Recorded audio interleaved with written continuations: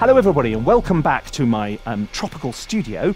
Um, for those of you who have just joining us now, in the last video I showed you how to set up a completely mobile set of kits so that you can put your whole studio into a backpack and travel anywhere in the world and just set up and be able to start turning out professional quality um, um, music using a laptop and a portable keyboard. We've got a MacBook Pro here, we've got a three octave um, Korg micro key, I've got all my libraries on a one terabyte SSD there, uh, and I'm using Lima to, um, to control volumes and things like that from my mobile phone.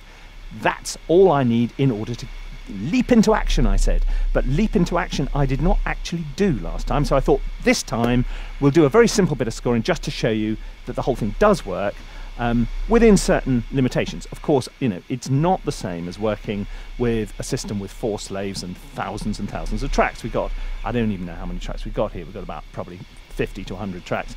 I mean, the bare minimum you need in order to turn stuff out. And I'm going for more ensemble patches and things like that rather than, uh, you know, big sophisticated patches. But nonetheless, let me put my headphones on.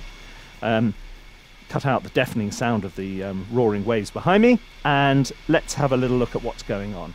Right, the first thing I did actually was to change the color scheme within um, Cubase so I could see it when it's outside in the brilliant sunshine like this um, because the normal dark color scheme just disappears as soon as there's any kind of sunlight on the screen. So uh, let's uh,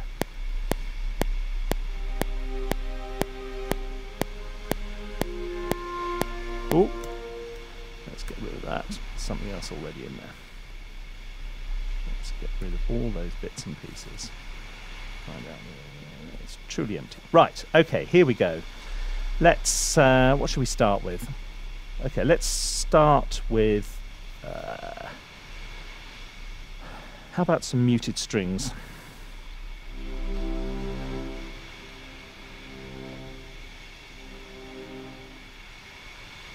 Let's do something a bit more uplifting than that.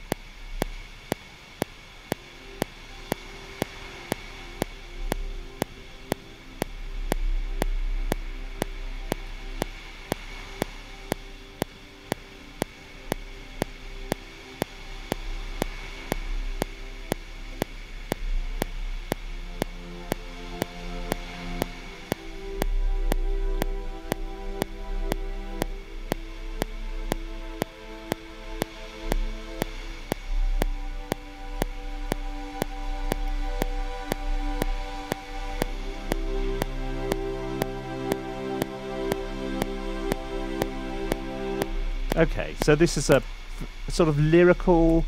Um, let's get some harp going next, maybe. There's we start with plenty of those. Um, uh,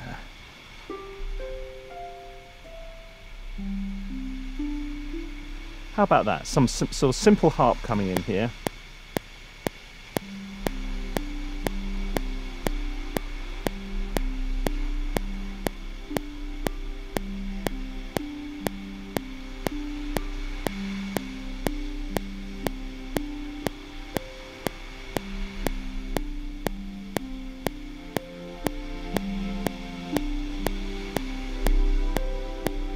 Okay, at which point it doesn't work. it's working all right up to there, wasn't it?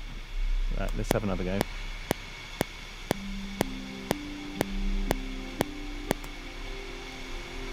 But, uh, let's uh, add some. How about legato clarinet?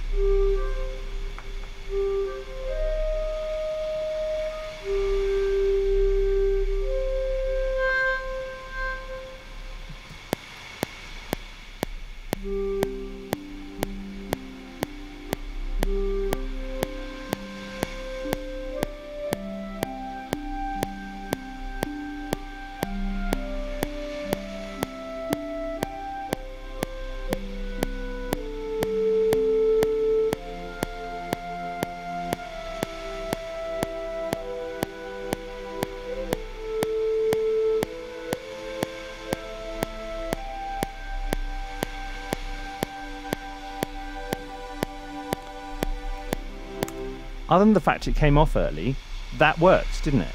Okay. I thought it worked anyway. you may be sitting at home saying, worked. It's nowhere near worked. It's the worst idea he's ever, ever had. And that's saying something because he has some bad ideas. Okay.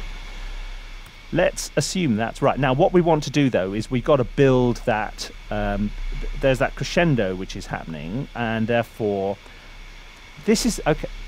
One of the things about using um, when you try and strip down all the stuff you're using until it's really bare essentials is you go back and look at some really simple old style um, samples from East West Quantum Leap Symphonic Orchestra, which has been around now for a very long time. Go and look at things like uh, French horn portato on trombone portato. They're just wonderful, wonderful samples. They're kind of really soft.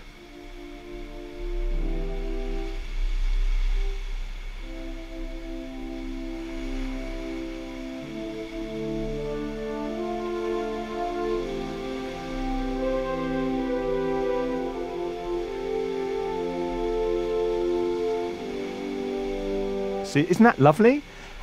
You've probably, I bet loads of you have got that at home and you didn't know it. And you, you've never, or some of you probably do know all about it, but it's one of the things I say to people all the time is, you know, before you rush out and spend another sort of zillion pounds on a new library, go and look at the ones you've already got because I bet there's stuff in there which is going to work for you.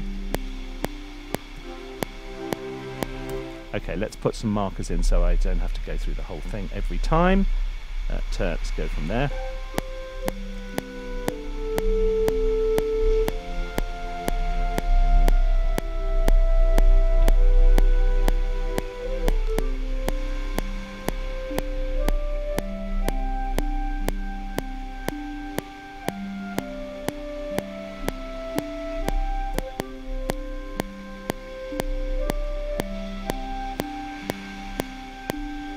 Going to wait. In,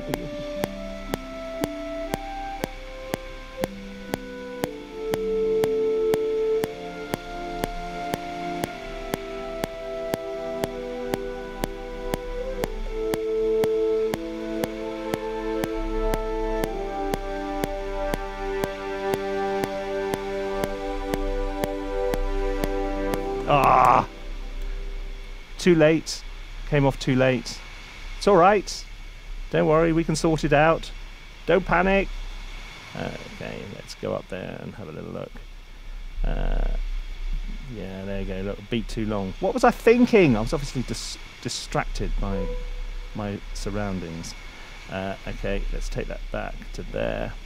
I mean, it's not rocket science. It's just big. Uh, actually, I want to put. Uh, let's put the trombone portato in on the bottom as well from there. See, lovely sound, isn't it? Isn't that great?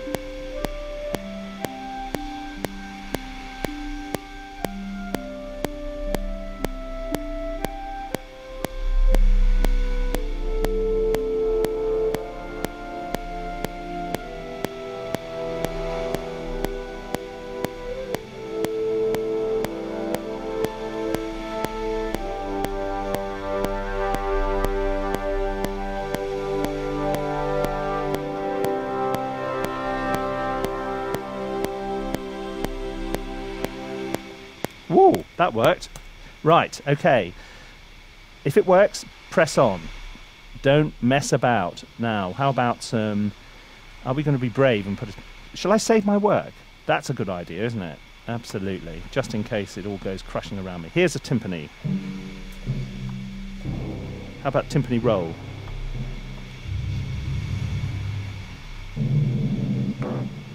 Okay. So I'm going to bring in a timpani roll on G, which is the dominant, and then go boom, so we can have a big kind of whoosh. In come the horns. And the trombones, and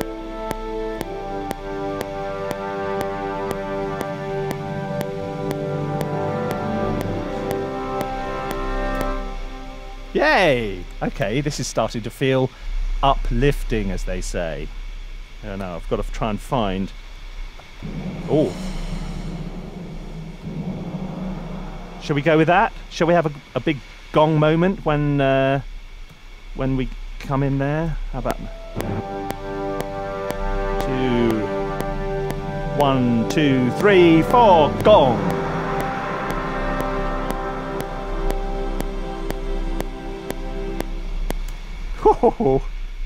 okay, I mean, look, it's it's a bit cheesy. It's a bit cheesy, isn't it?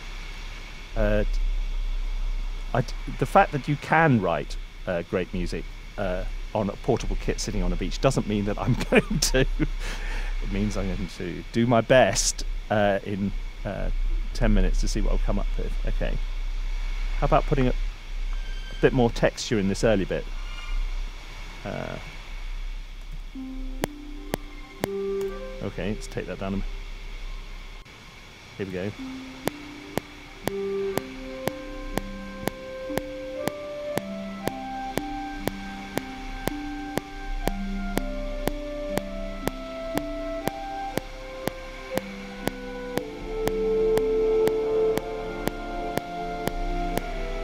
Okay, I can live with that.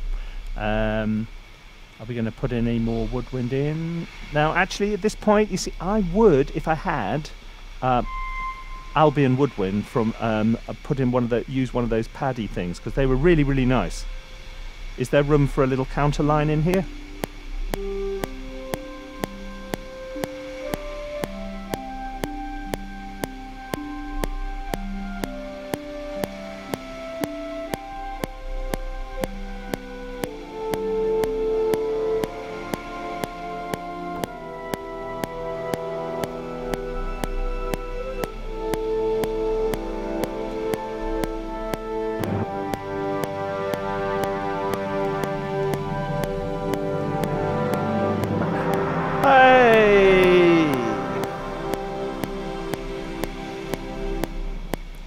I declare that done. That's as much as we're going to do.